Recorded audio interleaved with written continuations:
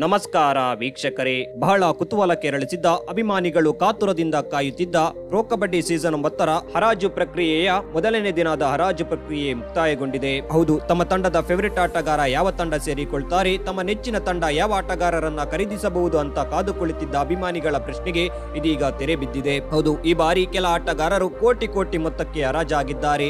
ಹರಾಜಿನ ಮೊದಲ ದಿನದಲ್ಲಿ ಎ ಕೆಟಗರಿಯಲ್ಲಿ ಬರುವ ದೇಶೀಯ ಮತ್ತು ವಿದೇಶಿ ಆಟಗಾರರ ಹರಾಜು ಪ್ರಕ್ರಿಯೆ ನಡೆದಿತ್ತು. ಇದೀಗ ಮೊದಲನೇ ದಿನದ ಹರಾಜು ಪ್ರಕ್ರಿಯೆ ಮುಕ್ತಾಯಗೊಂಡಿದೆ. ಹೌದು, ಈ ಬಾರಿ ಹರಾಜು ಪ್ರಕ್ರಿಯೆಯಲ್ಲಿ ಸ್ಟಾರ್ ಆಟಗಾರರು ಕಾಣಿಸಿಕೊಂಡಿದ್ದ ಕಾರಣ ಆಟಗಾರರ ಖರೀದಿಗೆ ತಂಡಗಳು ಭರ್ಜರಿ ಪೈಪೋಟಿ ನಡೆಸಿದ್ದವು. ಮೊದಲನೇ ದಿನದ ಹರಾಜು ಪ್ರಕ್ರಿಯೆಯ ಹಂತಕ್ಕೆ ಯಾವ ಆಟಗಾರ ಅತಿ ಹೆಚ್ಚು ಬೆಲೆಗೆ ಮಾರಾಟವಾಗಿದ್ದಾನೆ? ಬಹಳ ನಿರೀಕ್ಷೆ ಹುಟ್ಟಿಸಿದ್ದ ಪವನ್ ಕುಮಾರ್ ಶರವತ್, ಪರ್ದೀಪ್ ನರ್ವಾಲ್ ಫಜಲ್ ಹತ್ರ ಚಲಿ ಯಾವ ತಂಡ ಸೇರಿಕೊಂಡಿದ್ದಾರೆ? ಈ ಬಾರಿ ಪ್ರೊ ಕಬಡ್ಡಿಯ ಕೋಟಿ ವೀರರು ಯಾರು ಅನ್ನೋದರ ಕುರಿತು ನಾವೀಗ ಮಾಹಿತಿ ನೀಡ್ತೀವಿ. ಈ ವಿಡಿಯೋವನ್ನ ತಪ್ಪದೆ ಕೊನೆಯವರೆಗೆ ನೋಡಿ.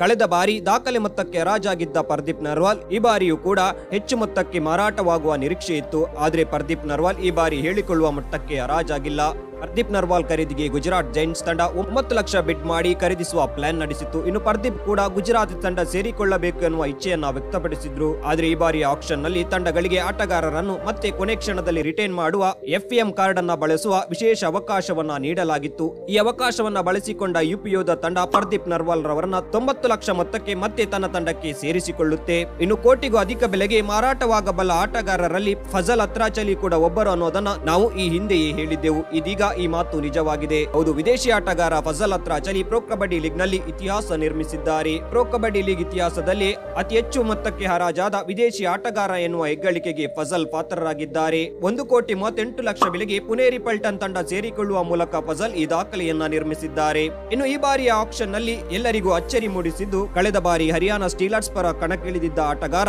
ವಿಕಾಸ್ ಕಂಡೋಲಾ ಹೌದು, ವಿಕಾಸ್ ಕಂಡೋಲಾ ಪ್ರೊ ಕಬಡ್ಡಿ ಲೀಗ್ನ ಚರಿತ್ರೆಯಲ್ಲಿ ಅತಿ ಹೆಚ್ಚು ಮೊತ್ತಕ್ಕೆ ಮಾರಾಟವಾದ ಎರಡನೇ ಆಟಗಾರ ಎನಿಸಿಕೊಂಡಿದ್ದಾರೆ. ವಿಕಾಸ್ ಖರೀದಿಗೆ ತಮಿಳ್ ತಲಾಯ್ವಾಸ್ ಹಾಗೂ ಬೆಂಗಳೂರು ಬುಲ್ಸ್ ಜಿದ್ದಾಜಿದ್ದಿನ ಬಿಡ್ ನಡೆಸಿದವು. ಕೊನೆಗೆ ಬೆಂಗಳೂರು ಬುಲ್ಸ್ ತಂಡ ಒಂದು ಕೋಟಿ ಎಪ್ಪತ್ತು ಲಕ್ಷ ಬೆಲೆಗೆ ತನ್ನ ತಂಡಕ್ಕೆ ಸೇರಿಸಿಕೊಳ್ಳುತ್ತೆ. ಈ ಮೂಲಕ ವಿಕಾಸ್ ಪ್ರೋ ಕಬಡ್ಡಿ ಇತಿಹಾಸದಲ್ಲಿ ಅತಿ ಹೆಚ್ಚು ಬೆಲೆಗೆ ಮಾರಾಟವಾದ ಎರಡನೇ ಆಟಗಾರ ಎನಿಸಿಕೊಂಡಿದ್ದಾರೆ.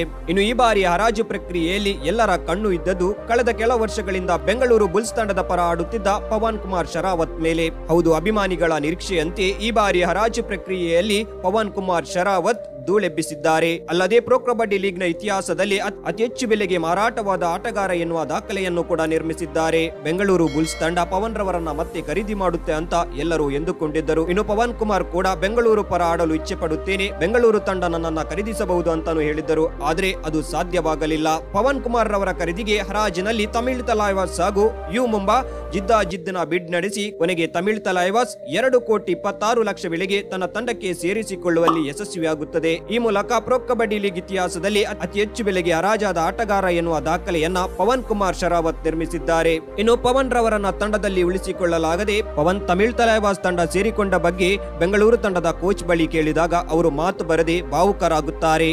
ಪ್ರಿಯ ವೀಕ್ಷಕರೇ, ನೋಡಿದ್ರಲ್ಲ, ವಿವೋ ಪ್ರೊ ಕಬಡ್ಡಿ ಸೀಸನ್ ಒಂಬತ್ತರ ಹರಾಜು ಪ್ರಕ್ರಿಯೆಯ ಮೊದಲನೇ ದಿನ. ಅತಿ ಹೆಚ್ಚು ಬೆಲೆಗೆ ಮಾರಾಟವಾದ ಆಟಗಾರರು ಯಾರು ಯಾರು ಅಂತ ಈ ಬಗ್ಗೆ ನಿಮ್ಮ ಅಭಿಪ್ರಾಯ ಏನು ಅನ್ನೋದನ್ನ ಕಮೆಂಟ್ ಮಾಡಿ.